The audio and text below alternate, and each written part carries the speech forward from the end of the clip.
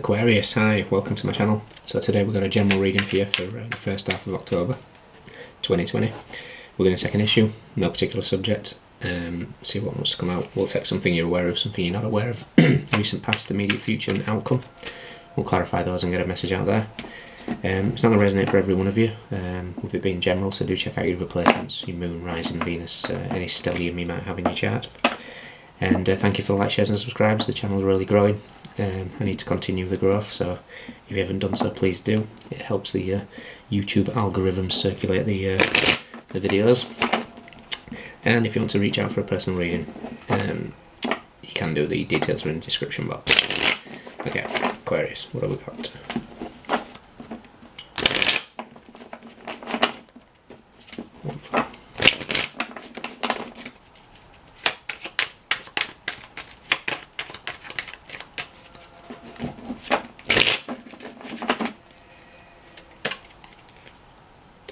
Five of Wands, okay.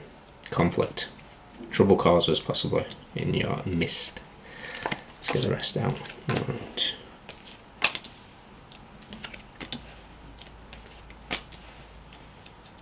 Okay. Bottom of the deck, the Eight of Wands with a Chariot and the Tower. Okay, some fast movement is coming in.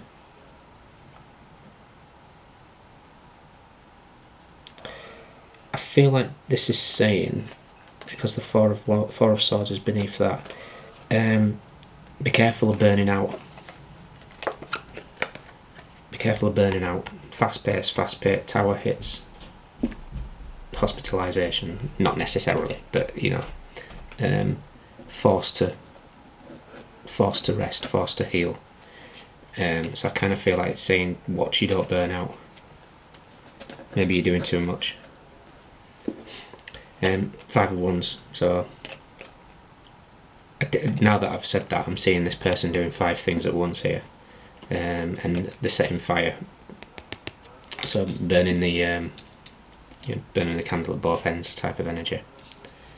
Uh, what you're aware of is the Six of Wands. You're doing it because you want fame. You're working hard. You want recognition for whatever aspects in life, possibly work. Um, but again, you know, the, the wand is burning. You're just going to wear yourself out at the moment. I feel the same energy here. What you're not aware of is it will burn you out and you will fall. Um, I'm reading the fall as in falling backwards here, and I think that's just exhaustion.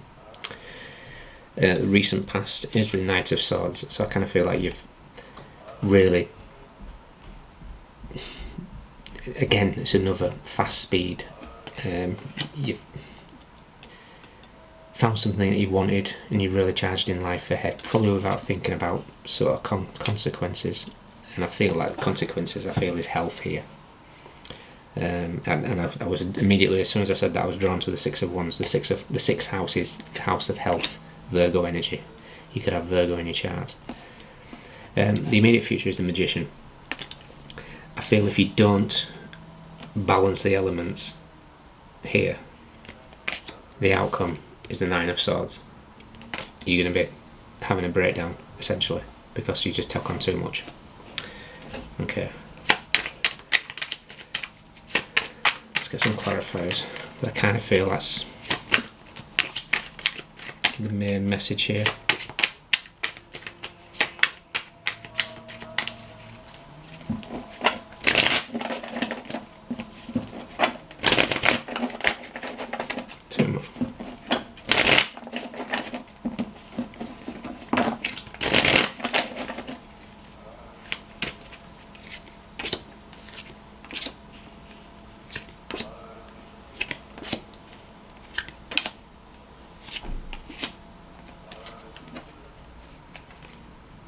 Okay, bottom of the deck again, Six of Wands with the Hierophant and the Queen of Wands.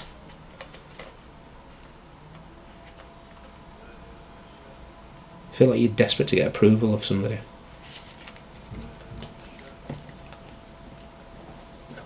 I think you're getting trying to get approval of somebody that you uh, you truly love. Uh, strangely enough, um, in this sort of Rider-Waite deck, uh, there's two cards that came extra purely for art purposes. Uh, but I've left them in the pack because they both, you know, they both spoke to me. I, I labelled my own sort of interpretation on them and left them in, and both have come out in this reading, so we're going to get to them in a second. Okay, so the Five of Wands um, is with the Two of Wands. So I kind of feel like you're doing five things when you really ought to be doing two, is the message there. Concentrate on just a couple of things rather than juggling everything. What you're aware of is the Six of Wands. You're doing it for recognition. I think you're doing it recognition for love. Um, so one the reason why I label this, I'll get to it now. So the the lovers card um, can be genuine, you know, two people perfect for each other, lovers. It can be Gemini energy. It can also make mean making choices. So when I got this card, and it's purely um, artwork, but I've labelled this as true love. So this is kind of like getting the lover's card, but without the connotations of it possibly making meaning decisions and or Gemini. This is just true love, divine love with the doves above it. I think you're working your socks off trying to get approval for a lover, someone that you see as your divine love. What you don't realise in your subconscious um, is the fool with the star. Um, and again, I kind of feel like it's a burn, burning out. The message here is don't burn yourself out for this person. If if it is true love, the stars have aligned it anyway. So have faith that you would come together anyway. In the recent past, we've got the Knight of Swords um, with the Four of Pentacles. So I think money has been an issue in your past, and you feel like money is an issue for this person. So you've rushed out to try and earn as much as you possibly can, maybe to impress. Immediate future is a magician with the Empress.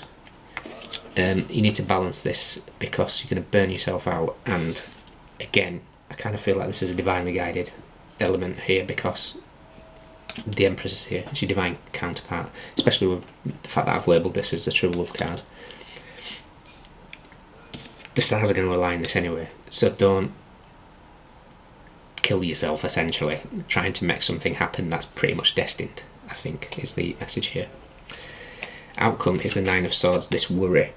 Uh, however, in this deck, I don't. I'm, I'm, not too bothered about the Nine of Swords. I mean, it's it's not not pleasant energy, but like I said, the angels are chasing away the crows, so you're getting protected from your angels.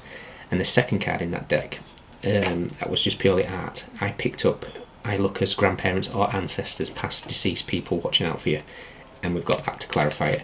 So I feel like don't worry about this situation. Your ancestors are lining it all up for you. So don't burn yourself out because it's going to happen. Okay? I don't feel the need to actually clarify anything further here. I will take one, I feel, for the Magician and the Empress with the Six of Cups. It's your soulmate, so don't worry. You know, and then we've got the Two of Cups at the bottom of the deck. This person is your soulmate. Please don't burn yourself out trying to impress them. The stars are aligning for you anyway. Okay? Okay, Aquarius. Um, you're here with the Aquarius energy. We've got Aries, Gemini. Um, we've got Libra, Taurus, Aries, Gemini, Virgo.